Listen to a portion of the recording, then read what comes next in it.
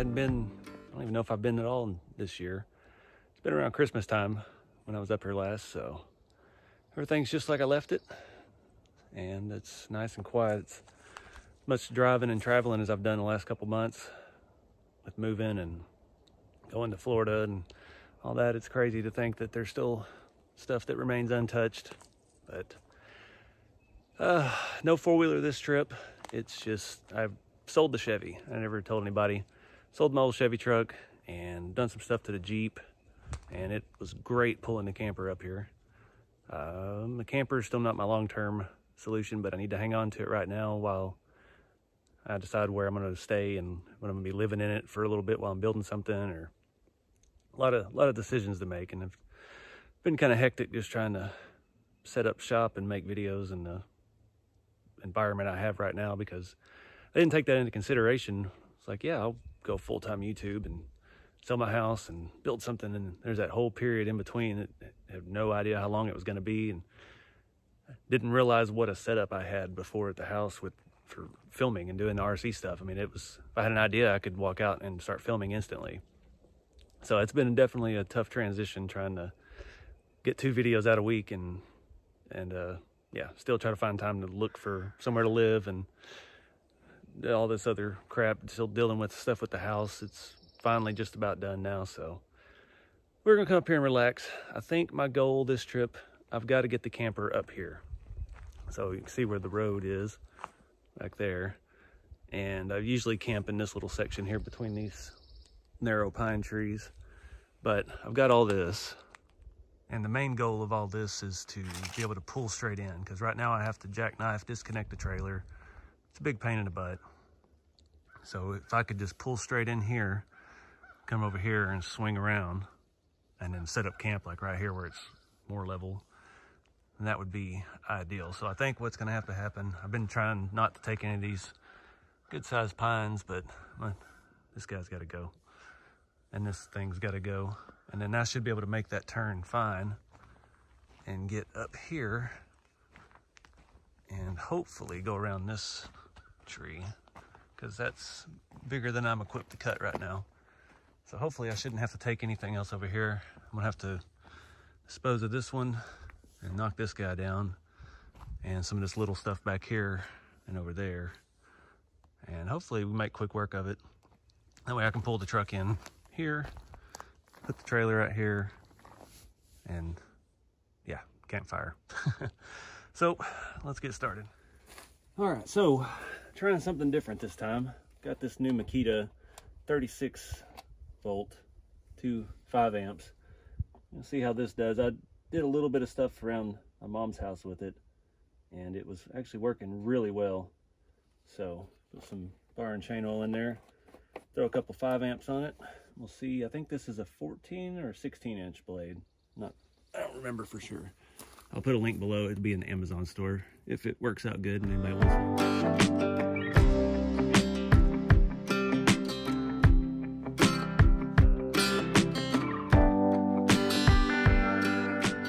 That went surprisingly well. Saw it's got, I think it's got more RPM than my gas one. Um, it did throw the chain, but I think that's just because the pinched between the tree. But this does have an, a uh, toolless chain tensioner. I remember how this works. So I'll let that cool, get back on there. We did not use, if you can see that, any of the battery life yet. So yeah, went pretty good. Only got a couple more to cut.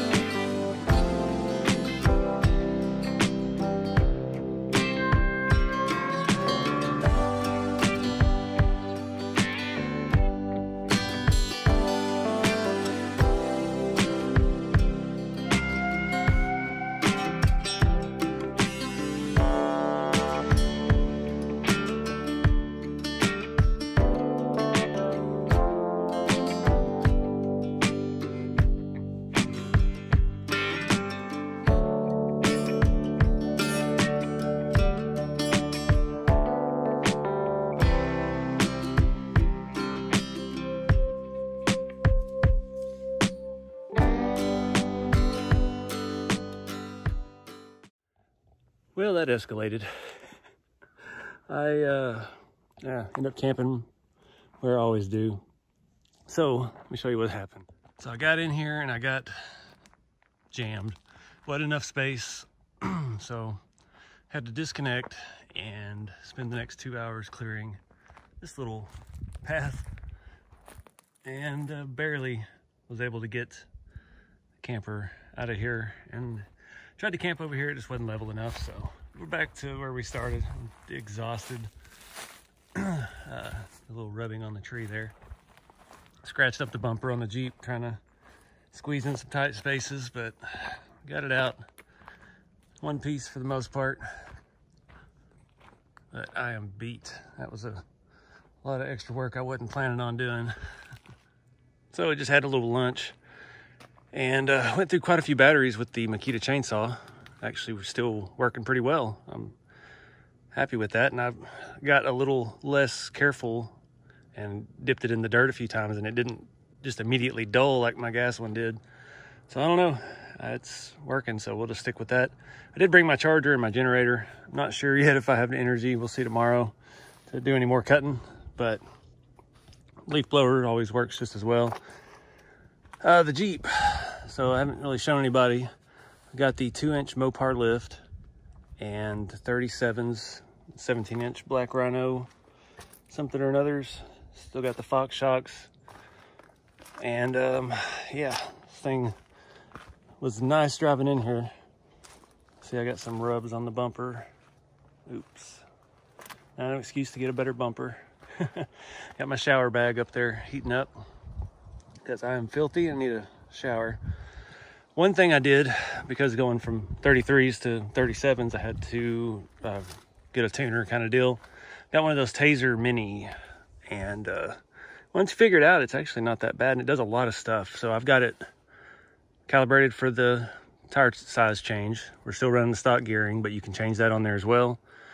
One neat thing, it allows you to run your sway bar disconnect at uh, in two-wheel drive or four high, and usually factory it'll only let you do it in four low, and that made the bumpy road coming up here much much better. Really softened up everything, and uh, yeah, um, yeah. Other than that, that's all I've done. Just driving it. Gas mileage pulling this up here. It was about 200 miles, I think, and uh, down the, including climbing up the mountain, we're down to about 12. 11.8, something like that. So it is what it is, but still a good, fun truck.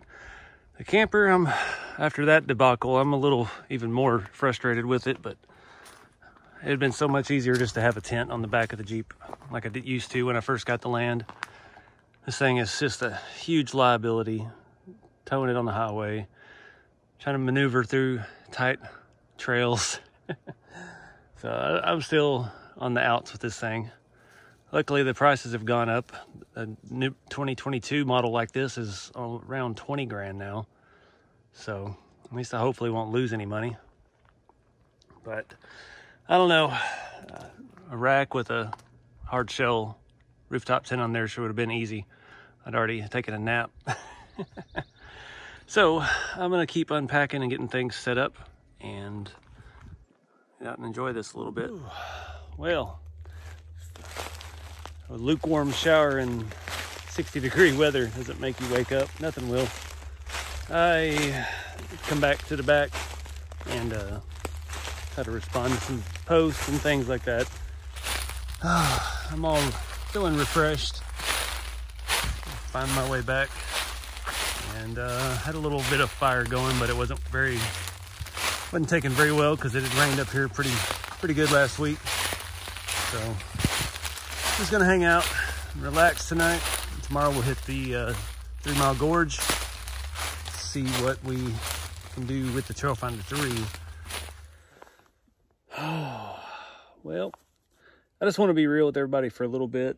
Uh, people commented on the last video about not being stressed and, you know, it's, it, I know it looks like from the internet's perspective that I'm living a dream and just quit my job, I'm going full-time YouTube, but I there's a lot of kinks in the plan that I wasn't expecting. So I, I, it's that shop build took me way longer than I thought it did, and that was stressing me out because I I need time to find a place to live, find a place to build, or find a place to set up shop, and figure out where I'm gonna base this new full time YouTube gig out of.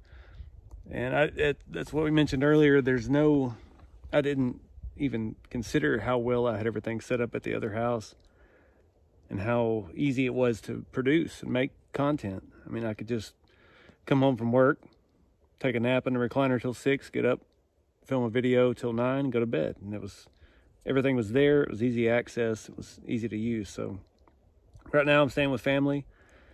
And uh, yeah, it's not that easy to produce. That's why we're using the camper to film some stuff in and made that new scale garage try and uh, you know get some semblance of familiar familiarity to the channel. And uh you know and that's i think that's good content because that's that's creative stuff and that's that's what we're all about. Is what i'm all about.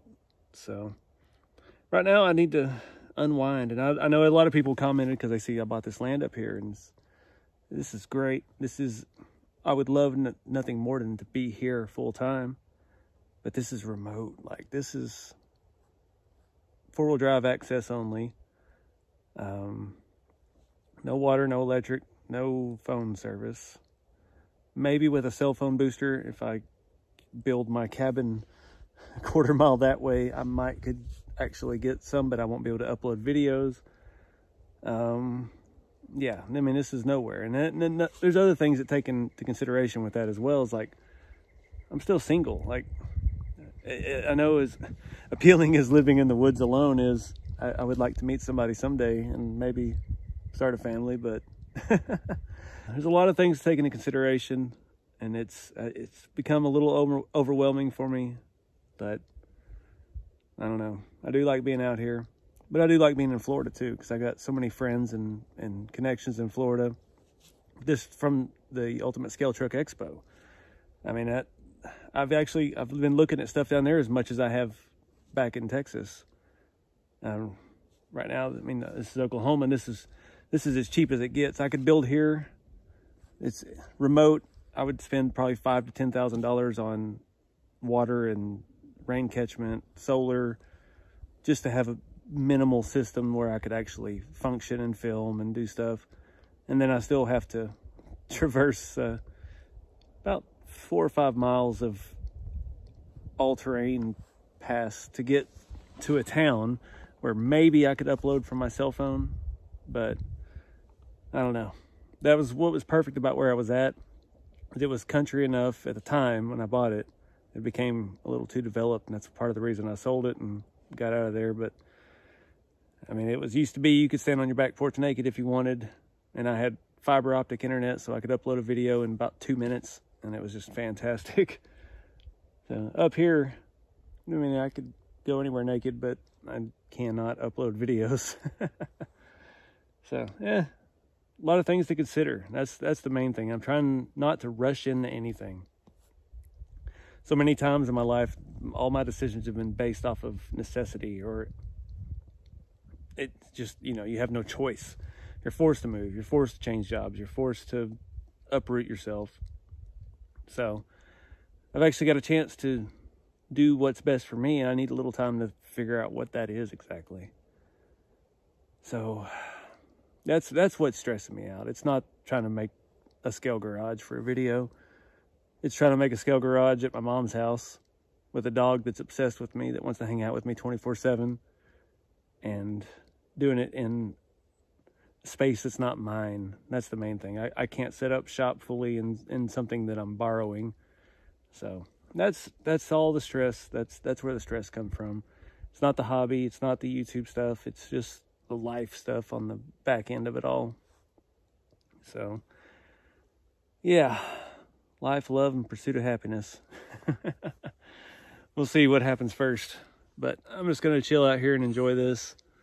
Like I said, I wore myself out earlier trying to clear this pass back here that still is not very passable. but I got some thinking to do, so we'll get on that.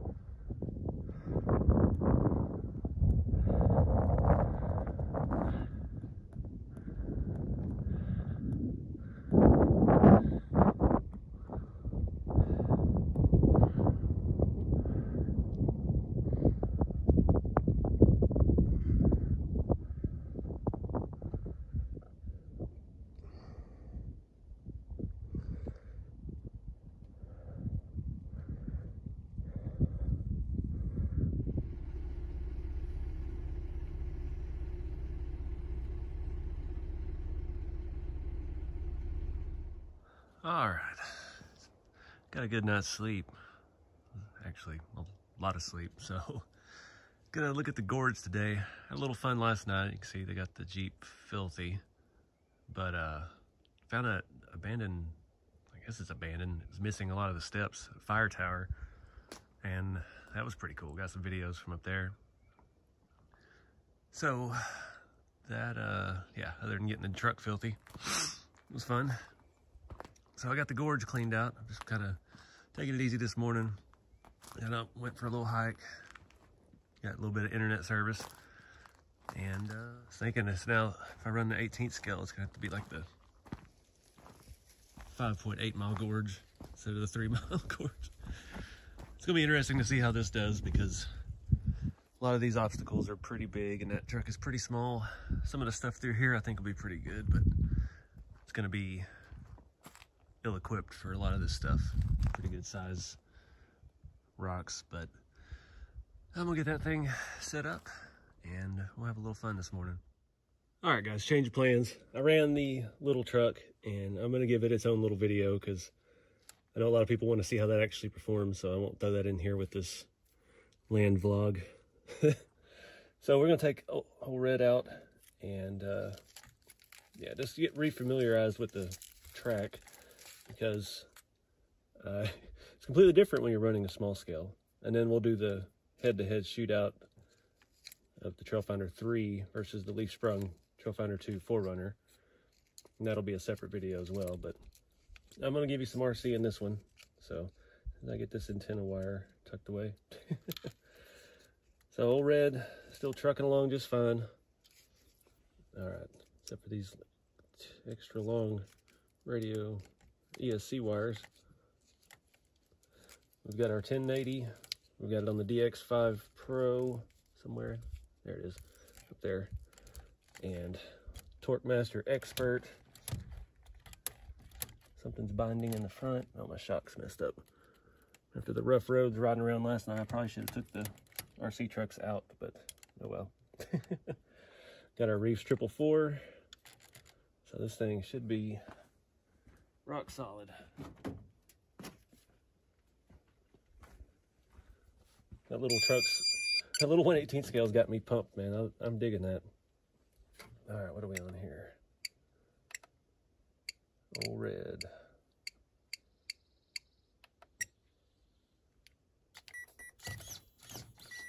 Uh oh something's wrong.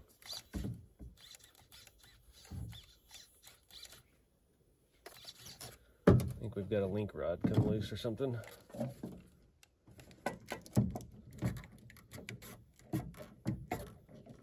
Yeah, I'd say so. It's just hanging out down there.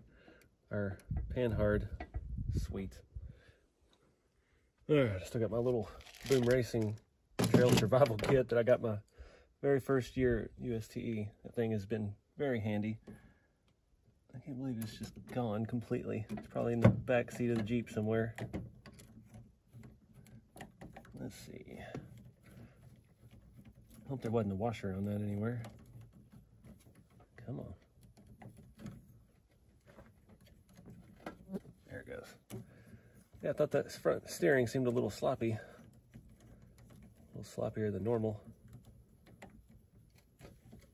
It's the problem with dragging these things all across the country to events. They rattle loose in the car. All right.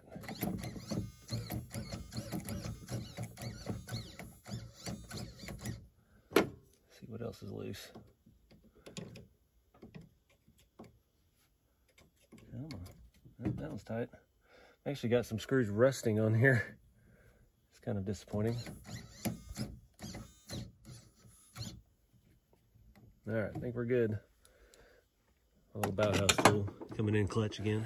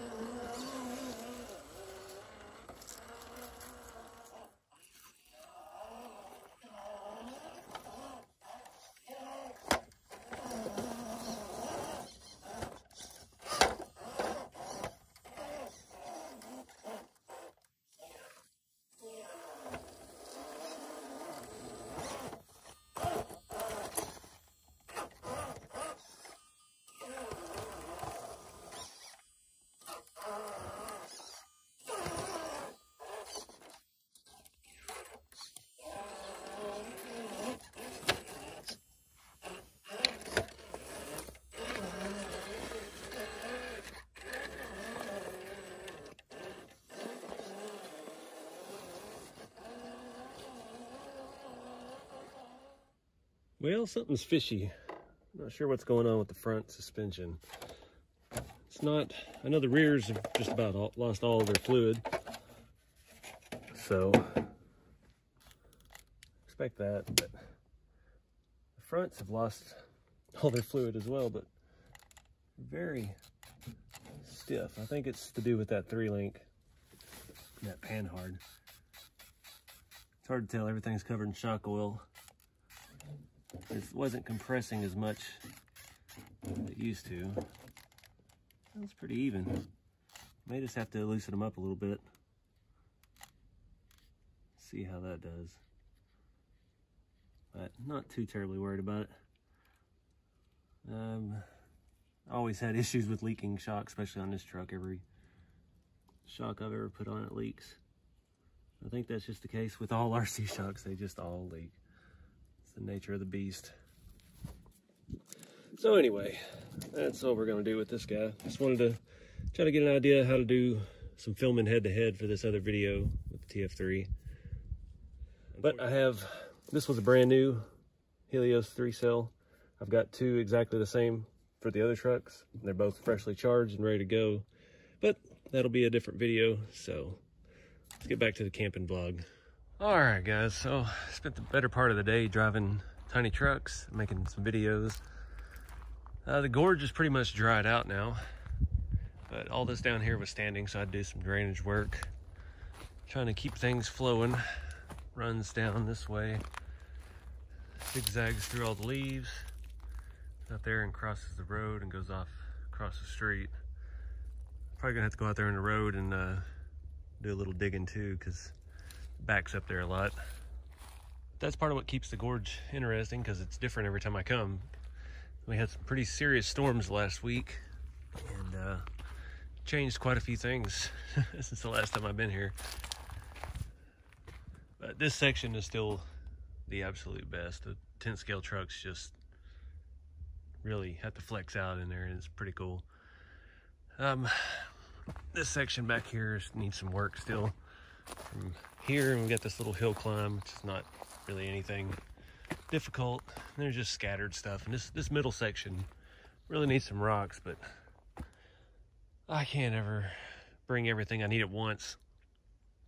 And I really need to bring the the wheelbarrow so I can load up rocks from other places and bring them down here. That's what we did that one time I brought it right there for the Pizza Rock bypass. And uh, there's another little natural creek that rose up, runs up there past where the uh, firewood is. And it all flows down into this and out. So still a lot of work to be done. Something's been bedding down in here, digging some holes and stuff. I've seen a lot of that hiking back today. There's a lot of little worn areas where things have been spending the night. I haven't seen any deer on the property today. I've seen quite a few coming in and then riding around last night. But uh, nothing up here today. I thought I heard one earlier. It was back there kind of angry, it sounded. Seen a couple lizards, look like little salamanders. They, boy, they sound like raccoons running across these leaves. freak you out and then you see it and it's just a little four inch lizard running around. But still not a lot of bugs, which is really nice. And it's just so dang quiet. The only thing making noise right now is this blowing in the wind. And there's still a lot of leaves on trees and stuff out there. And time we get a good enough wind, you hear them all rustling around. But other than that, it is pretty much silent. Walmart hammock for the win. oh, this thing is pretty nice. I mean, it has this little bag that it folds up in. It also makes a cup holder, especially if you have a nice cup. if you don't forget it every time you go camping.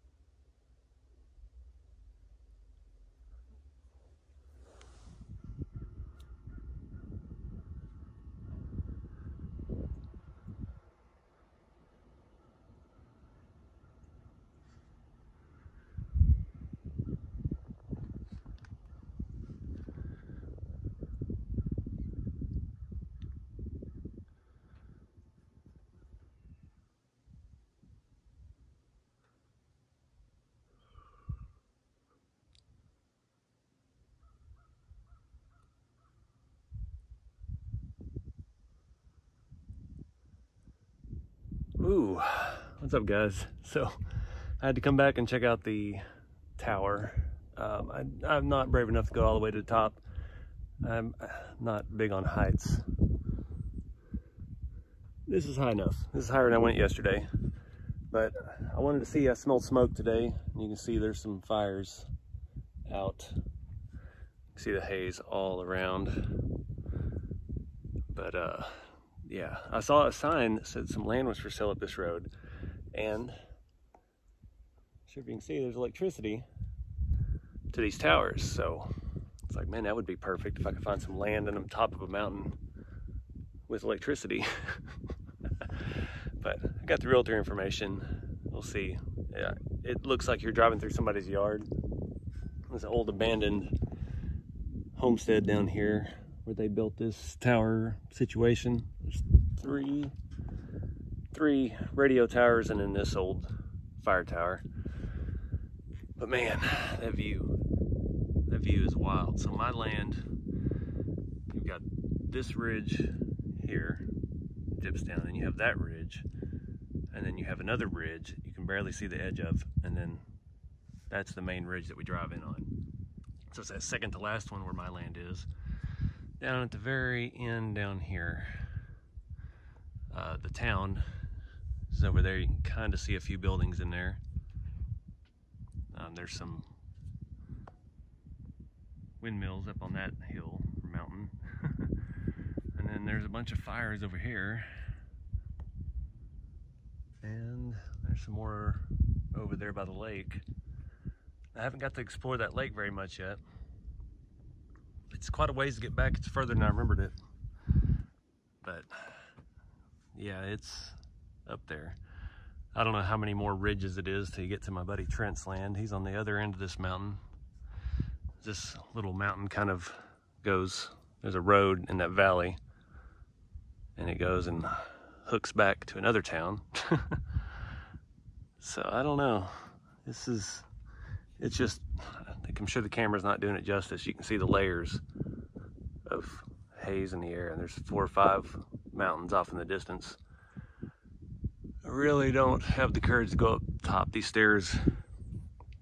Not in the best of shape, but at least I have shoes on today. I wore flip-flops yesterday. But man, what a place to be.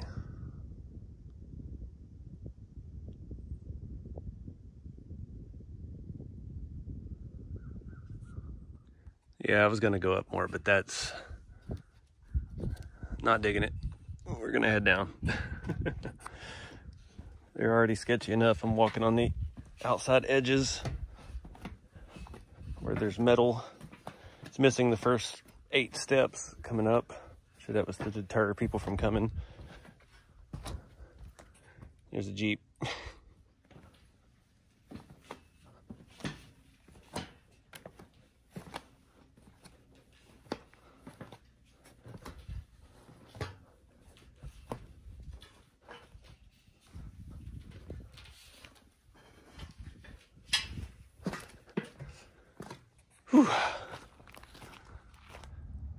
Well, guys, end of another day, listening to the sounds of the off-road park.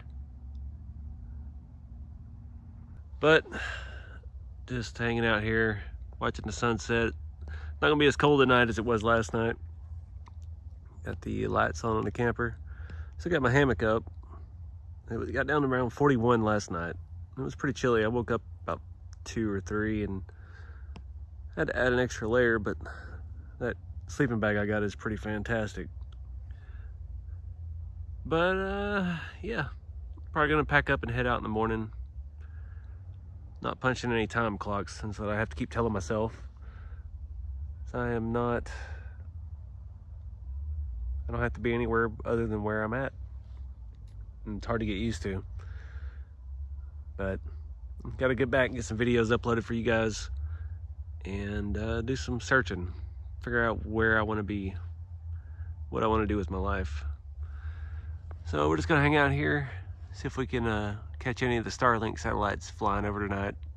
It's the only place I've ever seen them before. I'm gonna wrap it up, guys. Appreciate y'all watching. Stay tuned for the other crawling videos coming from this weekend up here at the land at the Three Mile Gorge and keep a scale. See y'all next time.